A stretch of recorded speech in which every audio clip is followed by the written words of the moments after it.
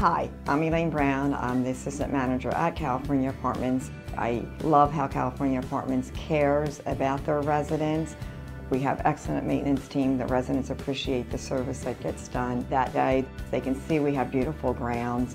We do lots of activities where residents can get to know each other, come to the community building or the swimming pool. We host annual pool parties. It's a great way to relax, get to meet people. I've lived at California Apartments when I was raising my children. It was wonderful for them to have the playground, the pool, be in an environment where I felt they could go out and play, have other kids to play with, and just felt a sense of community.